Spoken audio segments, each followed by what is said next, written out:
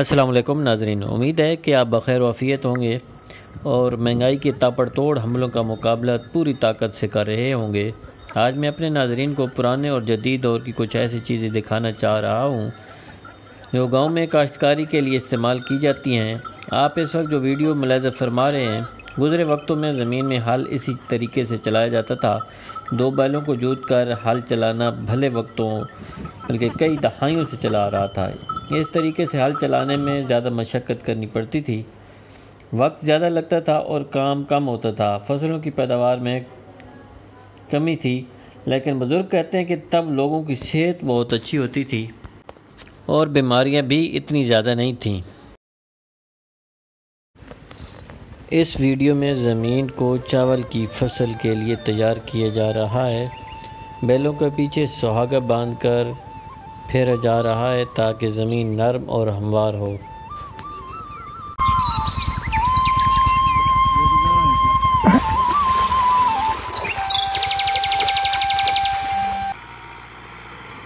फिर हर काम में जिद्दत आती गई, बैलों की जगह ट्रैक्टर आ गए।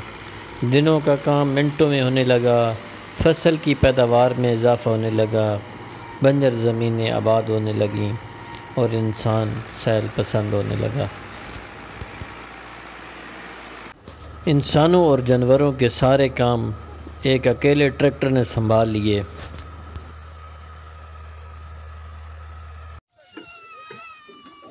आप में से बहुत कम लोगों ने आबकारी का ये निज़ाम देखा होगा।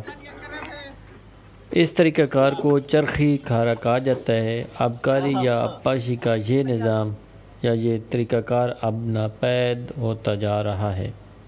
ये जिसके गिरद बैल घूम रहा है, इसे खारा कहा जाता है, जबकि ये जो कुइयों के ऊपर गोल चक्कर लगा हुआ है, इसे चरखी कहा जाता है।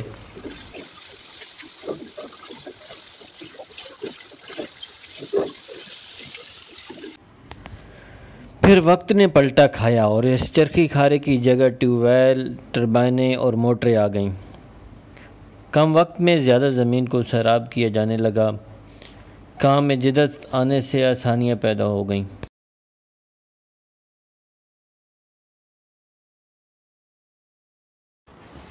ये कुदरती माहौल का मैसर होना भी किसी नेमत से कम नहीं।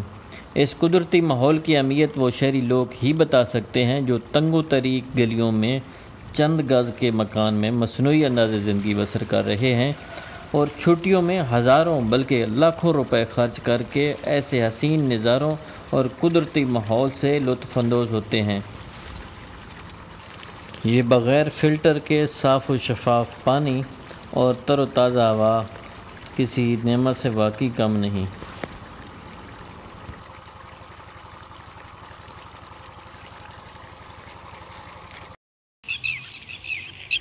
नाजरीन, आप ज़रा इस परिंदे की आवाज़ सुने।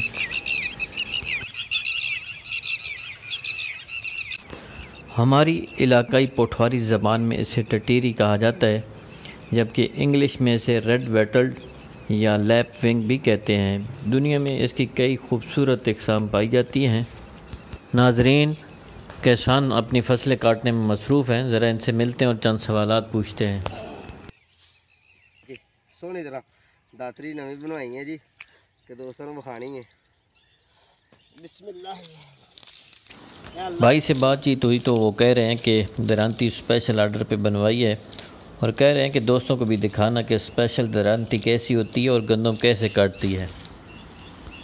जो दोस्त गाँव में रहते हैं, उन्हें बखूबी अंदाज़ा होगा कि ये मैनुअल काम कितना जान जोखों का काम है।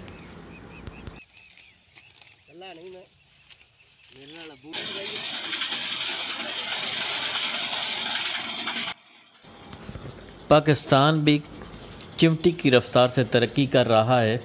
ये वेपर मशीन गंदम काट भी रही है और साथ साथ गड्डियाँ भी बाँध रही है। जबकि कुछ ऐसी वेपर मशीनें हैं जो सिर्फ़ गंदम काटती हैं, बांधती नहीं हैं।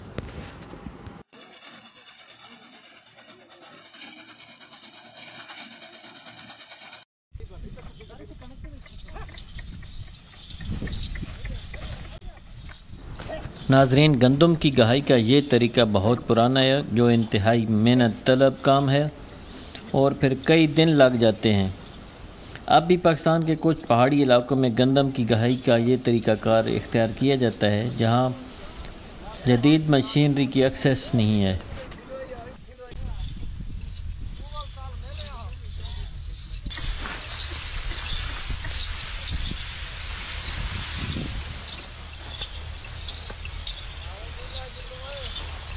नाजरीन, ये एक सिंपल हार्वेस्टर मशीन है जो गंदम काट रही है और साथ साथ थ्रेशर का काम भी कर रही है। दान और भूसा अलग कर रही है। दाने अंदर ही कलेक्ट कर रही है, जबकि भूसा हवा में उड़ा कर ज़ाया कर रही है। अब तो कई जदीद मशीनें आ चुकी हैं जो भूसा भी कलेक्ट करके उसकी गट्ठे बनाकर बाहर निकालती हैं। नाजरीन, मेरी आपसे दरख्वास्त है, अगर आपको मेरी ये वीडियो अच्छी लगी हो तो मेरे चैनल को सब्सक्राइब कर दीजिए और बेल आइकन को दबा दीजिए।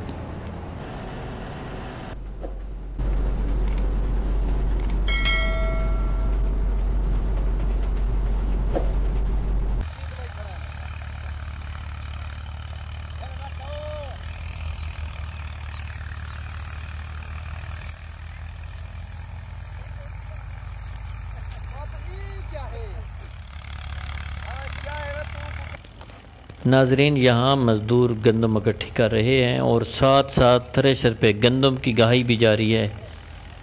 काफ़ी मशक्क़त तलब काम है। धूल उड़ रही है, लेकिन मैं फिर भी कोशिश करता हूँ कि आपको करीब से थ्रेशर का सारा प्रोसेस दिखा पाऊँ।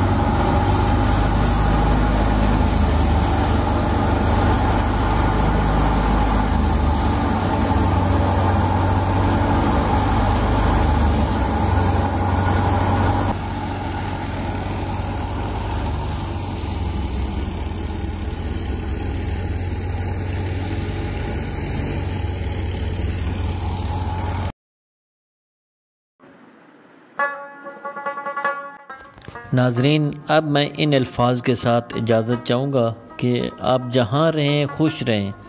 अल्लाह पाक हम सब का हामी नासिर हो।